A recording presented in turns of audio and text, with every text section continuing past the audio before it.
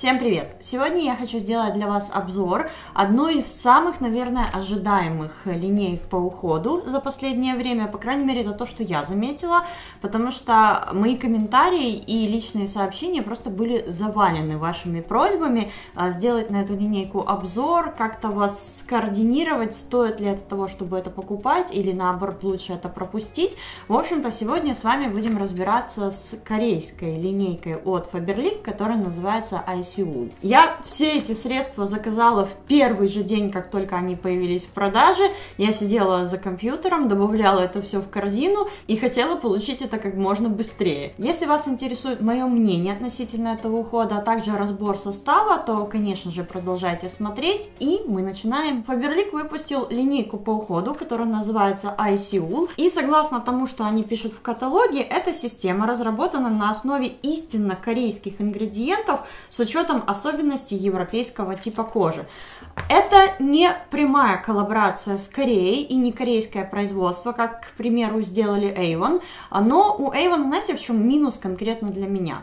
Продукция действительно неплохая у них, корейская, но там нет базового ухода. Там все патчи, маски, эмульсии, что-то такое, что мы используем время от времени. И как вы уже поняли, в этой линейке мы с вами видим гидрофильное масло для очищения, витаминный тоник для лица и активный крем для лица с экстрактом ласточкиного гнезда. На каждой упаковке в этой линейке написано, что это совместная разработка Faberlic Россия и Biospectrum Корея. Я погуглила, кто такие Biospectrum Спектрум, и, судя по всему, это организация, которая поставляет ингредиенты. То есть, насколько я могу судить, это только мое мнение, и то, как у меня сложилось впечатление, что Faberlic занимались разработкой формулы а, и также производили непосредственно эту всю продукцию, но закупали ингредиенты они именно в Корее у этой компании. Теперь, что касается моего общего впечатления, сразу скажу, что попользовалась этой продукцией я не очень долго, всего где-то недели две.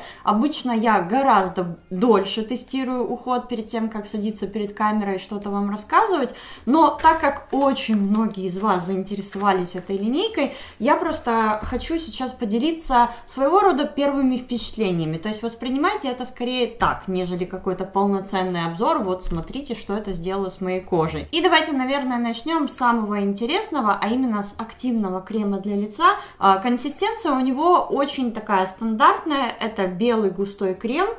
Очень приятный у него аромат. Я в вычислении ароматов не сильна, поэтому не скажу вам точно, чем это пахнет, но мне кажется, это какой-то такой вот легкий цветочный аромат. Этот крем имеет достаточно жирненькую такую консистенцию, то есть это не легкий кремушек, который моментально впитывается и абсолютно не оставляет по себе никаких следов, то есть он впитывается достаточно быстро, но при этом он оставляет ощущение именно такой напитанной кожи. Мне кажется, этот крем подойдет абсолютно для всех типов кожи, как для жирной, так и для сухой, так и для нормальной, а, потому что вот он такой вот действительно универсальный и быстро впитывается, а, в то же время у него в составе, об этом мы поговорим позже, есть ингредиенты, которые классно подходят и для жирного типа кожи, и для сухого типа кожи. У меня сухой тип кожи, кожи. А, и вы знаете, мне очень приятно было пользоваться этим кремом. А, я недавно полностью изменила весь свой уход, и когда я начала пользоваться своим новым утренним уходом, я поняла, что он, наверное, слишком легкий для меня, то есть у меня очень быстро появлялось вот это чувство сухости, стянутости, и когда я добавила в свой уход вот этот крем, Кожа с этим кремом у меня сразу начала получать нужное увлажнение питания, и все, проблема эта сразу снялась. Теперь давайте поговорим более конкретно об ингредиентах. Здесь заявлены два основные компонента. Это экстракт гнезд салангана и также витамин В3, то есть неоцинамид. Читая состав, я вижу, что эти ингредиенты здесь действительно есть но они достаточно в небольшой концентрации, и очень жалко, что нигде не указано, в каком процентном соотношении здесь те или иные компоненты. Так, конечно, было бы гораздо проще понять, а, каких результатов мы можем ожидать, потому что если вы уже смотрели мое видео об активных ингредиентах, вы знаете, что все зависит от того, насколько большой или маленький процент того или иного активного ингредиента в составе. Поэтому даже один и тот же ингредиент в каких-то больших дозах может как лучше вам сделать, так и хуже. И наоборот, в маленькой дозе он может быть более безопасный и менее раздражающий для лица. Поэтому, не зная точно какой процент в составе, а, можно только гадать. Из тех ингредиентов, которые здесь находятся в первой десятке, то есть это самая высокая концентрация этих ингредиентов в составе, хочу отметить здесь масло макадамии. Кроме масла жожоба, масло макадамии наиболее близко нашему натуральному кожному жиру. Оно содержит сквален и олеиновую кислоту, а, которые способствуют регенерации клеток, что делает это масло наиболее полезным а, для сухой, увядающей, потрескавшейся даже кожи, потому что оно смягчает, увлажняет и своего рода даже заживляет. Также оно содержит омега-6 линолевую кислоту, которая помогает сбалансировать выработку кожного сала и создает естественный защитный барьер. А омега-7 полезно для заживления ран, царапин и ожогов. То есть, как видите, этот ингредиент, в принципе, подходит для любого типа кожи. Что же касается активных ингредиентов, которые здесь заявлены, то неоцинамид или витамин В находится в списке на 12 месте. Неоцинамид это вообще отличнейший ингредиент, действительно один из самых топовых. Когда начинаешь читать, что такое неоцинамид, кажется, что это вообще слезы Иисуса или какая-то божественная роса и улучшение текстуры лица, изглаживание сглаживание пор и выравнивание тона лица. Он также убирает тусклый вид, борется с морщинами и что он только не делает. Но опять-таки все зависит от того, какая концентрация его в креме. То есть чем выше его концентрация, тем, соответственно, больше преимуществ вы получите. И, кстати, согласно всех исследований, а, с которыми я столкнулась, везде указано, что нет, цинамид не работает мгновенно. То есть нужно где-то приблизительно 12-14 недель для того, чтобы вы начали замечать какую-то разницу разницу, после чего все становится гораздо лучше, лучше, лучше, лучше, и вы доходите до определенной какой-то стадии, э, где неоцинамид начинает уже просто поддерживать э, это состояние. Он отлично борется и с пигментными пятнами за счет того, что он э, контролирует выработку меланина, и таким образом у вас общий тон лица со временем начинает выравниваться. Также он контролирует выработку кожного сала. И если ваши поры перестают быть забитыми излишком избытком кожного сала, то, соответственно, и поры начинают выглядеть меньше. Также он может уменьшить ущерб от окружающей среды, то есть от свободных радикалов, из-за чего клетки разрушаются, кожа стареет, теряет свой тонус, ну и, соответственно, начинает выглядеть не так молодо и упруго, как нам бы того хотелось. Еще один бонус неоцинамида в том, что он улучшает или утолщает эпидермальный барьер, из-за чего, во-первых, мы не теряем так сильно влагу. Неоцинамид также отлично сочетается с чувствительной кожей, и это действительно один из тех ингредиентов, который имеет очень мало побочки. А, то есть, если мы рассматриваем какие-то другие ингредиенты, как, например, тот же ретинол или HA, BHA кислоты, все они достаточно агрессивные. Там мы начинаем как можно с меньшего процента, смотрим, как реагирует кожа, и потом идем выше, выше, выше. Когда B3 абсолютно не агрессивный, и он отлично подходит а, и для тех, у кого есть раздражение, и для тех, у кого есть акне, и для тех, а, у кого даже такие кожные заболевания, как экзема, розацея и так далее. Что же касается экстракта ласточкиного гнезда, то этот ингредиент находится в списке на 16 месте, то есть его в процентном соотношении здесь еще меньше, чем неоцинамида. Я вообще, когда впервые услышала этот термин экстракт ласточкиного гнезда, я вообще подумала, что за бред вообще, что они там в гнезде отковыряли такого, что может помочь для кожи. А, но на самом деле экстракт ласточкиного гнезда это, по сути, использование затвердевшей слюны ласточки. И с помощью как раз-таки этого компонента э, эти птицы и строят свои гнезда. Этот ингредиент уже очень давно известен э, в восточной медицине, и также в китайской кухне он считается деликатесом. Это тоже один из тех ингредиентов, о которых ты начинаешь читать, и понимаешь, что его бонусы просто бесконечные. То есть действительно это очень классный ингредиент, а, который здорово может помочь вашей коже. Он очень позитивно влияет на общее состояние кожи, ее эластичность и ее текстуру. Отлично заживляет раны, борется с раздражением, защищает нас также от вредного воздействия окружающей среды. Я также попадала на некоторые исследования, где было указано, что как только вы начинаете пользоваться э, уходом с содержанием содержанием этого экстракта обезвоженность кожи снижается на 30%. И вот здесь как раз-таки это один из тех ингредиентов, где не нужна супер высокая концентрация.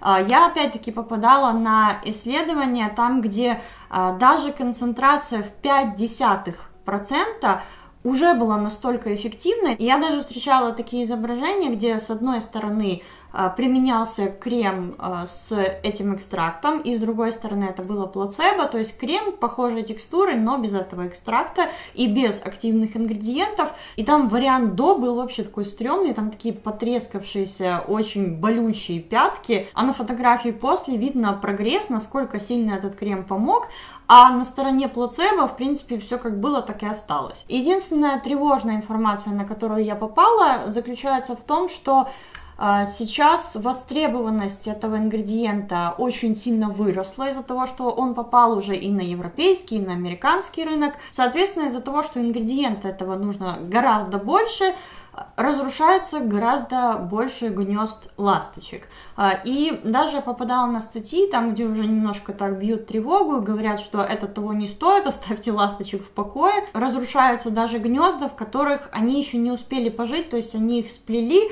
а, для того, чтобы вывести потомство, а, но это гнездо разрушается, перерабатывается в косметических целях, тогда как птицы, грубо говоря, остаются без дома, а для них это очень опасно, потому что они могут просто просто-напросто не выжить из-за этого. Перед тем, как давать какое-то однозначное заключение, я хочу немножко больше ознакомиться с этой темой. Ну, а пока давайте эту тему оставим и перейдем к обзору тоника. Это витаминный тоник для лица, у него достаточно стандартная упаковка с обычным распылителем. Мне бы, конечно, очень хотелось бы видеть здесь распылитель, как сделали Avon в своей эмульсии для лица. Вот этот бьет достаточно жестко. И вы знаете, этот тоник меня впечатлил даже еще побольше, чем крем. На втором месте после воды здесь гидрогенизированное касторовое масло. И вот эта приставочка PEG 40 отвечает за то, что это масло а, находится на поверхности кожи и не впитывается в кожу. И если вы сейчас подумали, что это плохо, нет, в данном случае это как раз хорошо, потому что это масло предотвращает потерю влаги, смягчает кожу и имеет противовоспалительный эффект. Следом после касторового масла здесь идет неоцинамид, то есть здесь действительно высокая концентрация этого ингредиента, я о нем уже вам рассказала, и вы уже в курсе, насколько это классный ингредиент. А потом также здесь идет пантенол. Пантенол это про витамин В5. Он привлекает и удерживает влагу, успокаивает также кожу. Аскорбил фосфат натрия это отличнейший ингредиент, это стабильная форма витамина С. И это, кстати, форма витамина С отлично работает с антиакне продукцией. Ну и также вы наверняка уже знаете, что витамин С а, отлично выравнивает общий тон лица, делает кожу более яркой, более упругой. В общем-то, тоже отличнейший ингредиент. Дальше среди вспомогательных ингредиентов здесь э, 3, а если сюда добавить витамин С, то это 4 уже будет антиоксиданта. Среди них тут и витамин Е, который очень полезен для кожи. Это, наверное, один из наиболее изученных антиоксидантов на данный момент. Ну и, в принципе, здесь есть несколько других ингредиентов, но я прям на каждом не хочу останавливаться. В принципе, все, что здесь написано, да, Э, соответствует действительности. Ну и последнее, о чем я хочу вам рассказать, это гидрофильное масло для очищения. Как видите, за две недели у меня его ушло достаточно много. А что касается его прямого назначения, как он смывает макияж, здесь вообще никаких претензий отлично смывает макияж. Единственное, а, здесь этот дозатор выдает достаточно маленькое количество. Нужно где-то приблизительно помпы 3-4 для того, чтобы смыть, ну, вот такого плана макияж, как сейчас на мне. Гидрофильное масло это, наверное, самый простой способ очистить лицо от макияжа. Что касается состава гидрофильного масла, то, вы знаете, а, здесь я не нашла ничего супер революционного, но в то же время в принципе, это здесь и не нужно. Вообще считается, что все средства, которые мы наносим и смываем, э, вот они не обязаны быть с какими-то суперактивными ингредиентами или что-то типа того. Здесь важно просто, чтобы они давали нам результат, а все активные ингредиенты лучше, чтобы оставались в коже. То есть это любые тоники, сыворотки, кремы, эмульсии, эссенции и так далее. Все, что остается. Если это что-то, что находится у нас на лице пару секунд или там минуту, то в принципе особой роли как бы не играет. Это мнение я не один раз уже слышала, ну и в принципе оно мне кажется просто логичным. Первый ингредиент э, в списке здесь это изопропил меристат, это синтетическое масло. Потом идет касторовое масло, о нем я уже тоже вам рассказывала, потому что касторовое а, масло есть в составе этого тоника. А дальше здесь находится как раз таки тот ингредиент, который как мне кажется, отвечает за то, что это масло легко смывается и превращается именно в такое что-то э, легкое пенящееся. Этот ингредиент производится из пальмового масла, что делает его менее сухим и менее жестким. Что касается его прямого назначения, а именно снятия макияжа, очищения кожи, то здесь это средство справляется на отлично. Итак, что касается моих общих впечатлений от этой линейки, то я думаю, вы уже догадались, мне эти средства понравились. Я в последнее время очень придирчиво отношусь к своему уходу и стараюсь выбирать ту продукцию, которая Э, действительно что-то делает, а не просто занимает место у меня на полочке в ванной. А я очень слежу за ингредиентами, а, слежу за состоянием кожи, стараюсь подбирать именно то, а, что нужно мне именно в данный момент. И вот эти средства очень хорошо вписались в мой нынешний уход, я ими пользуюсь, это действительно правда, это не просто я их взяла для обзора, сейчас вам их нахвалила и пользоваться ими не буду. Я буду продолжать ими пользоваться, и вообще вот этот крем я хочу взять еще для своей мамы, я думаю, он ей тоже очень понравится. Если Faberlic не планирует на этом остановиться, то мне будет очень интересно посмотреть, что они выпустят в будущем, потому что мне кажется, вот это уже очень хороший старт. А на этом у меня все. Я очень надеюсь, что это видео было для вас полезным. Если так и было, конечно же, поставьте ему палец вверх. Можете поделиться со своими друзьями, подругами, мамами, тетями. Пускай как можно больше людей начинает разбираться в ингредиентах и подбирать правильный уход для себя. Если вы еще не подписаны на мой канал, обязательно подписывайтесь. Это можно сделать, нажав на круглую иконку вот здесь вот. И также YouTube вам сейчас предлагает другие мои видео. Очень советую посмотреть вам э, видео о активных ингредиентах. Я его недавно снимала. Там вот просто обо всем и сразу такой экспресс-курс по ингредиентам. А если вы уже смотрели эти видео, то мы с вами встретимся в моем новом выпуске через несколько дней.